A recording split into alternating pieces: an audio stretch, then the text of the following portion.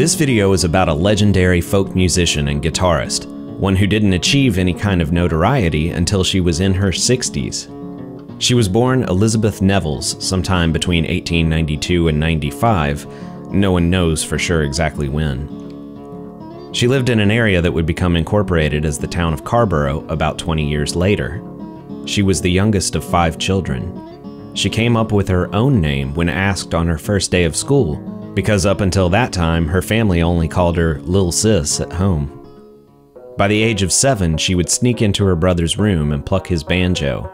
She didn't know any better, so she played it upside down, strumming with her left hand and fingering with her right. She taught herself entirely, and by eight years old, she could play whole songs by ear. When she was around the age of 10, her brother left home and took his banjo, so Elizabeth quit school and began working to save up for a guitar. Much to her mother's frustration, she would stay up late strumming. Elizabeth would listen to the trains going by very close to her house, and she would eventually go to sleep to the sounds of wheels on tracks and whistles. This inspired her very first song, Freight Train, at the age of 12. When she was around 16 years old, Elizabeth married a man named Frank Cotten. The two had a daughter not long after, and it was around this time that young Elizabeth Cotten began to feel outside pressures on her music. As a new mother, she wanted to spend time with her child, and she also embraced the Baptist church.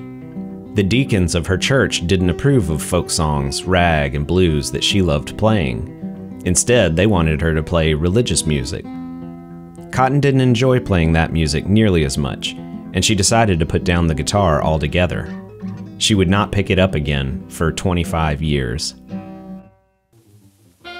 In the mid 1940s, Elizabeth divorced Frank and moved to Washington, D.C. to be near her daughter, Lily. She worked as a house cleaner and also picked up a holiday job selling dolls at Lansburgh's department store. One day in the store, she noticed a little lost girl searching for her mother. The girl happened to be Peggy Seeger, and the mother was Ruth Crawford Seeger. By chance, Elizabeth Cotten just happened to meet one of the most famous families in folk music history. Ruth was a well known composer and folk music specialist. Her husband Charles was a renowned ethnomusicologist, teacher, and composer who had been brought to DC in the 1930s by the US government to help with relief efforts during the Great Depression. Charles Seeger was part of a New Deal initiative to help struggling urban and rural families relocate to government communities. Charles' sons, Pete and Mike, would become key figures in recording and preserving the history of American folk music, along with Alan Lomax and John Lomax Jr. Peggy Seeger would go on to become a well loved folk singer as well. Ruth was charmed by Elizabeth's gentle manner with her children, and shortly after the holiday, Elizabeth came to work for the Seegers. The family loved her, and she earned the nickname Libba from young Peggy. The Seeger household, not surprisingly, was filled with instruments, and one day Elizabeth took a little break and picked up one of Peggy's guitars.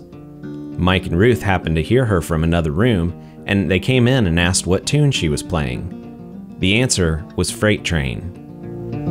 Freight train, freight train, run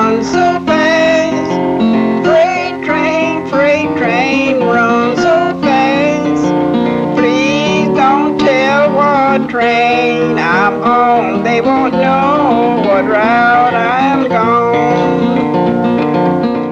Although it had been at least 25 years since she had picked up a guitar, Elizabeth began to play again. With the added encouragement of the Seeger family and Mike's help in recording songs, she became a musician again.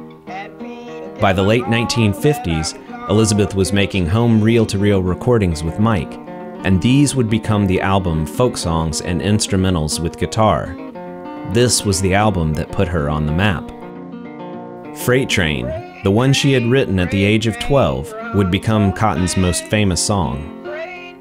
Freight Train would go on to be recorded by Bob Dylan, Jerry Garcia, Peter Paul and Mary, Joan Baez, and Taj Mahal, among many others. To this day, even recent artists like Devendra Banhart cover this tune.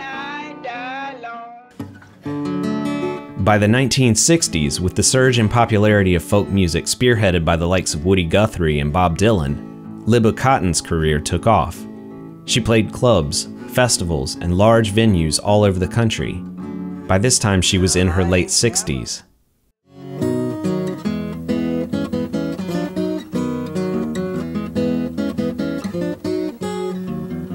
Cotten's left hand, upside down guitar style wasn't the only thing that made her unique. She also picked with her thumb and index finger. Since her bass strings were on the bottom, this meant she would pick out bass lines with her finger and play the melodies with her thumb. The style actually became known as Cotten picking.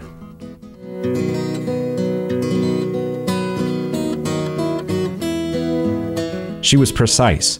Her playing was solid, but had an easygoing feel to it. And although her voice was noticeably more frail later in her life, it gave her a true authenticity. By 1979, she had recorded four albums with Mike Seeger, including a live album.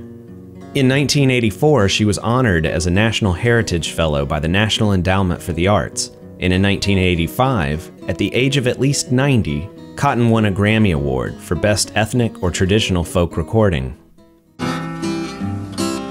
Y'all gonna help me sing this?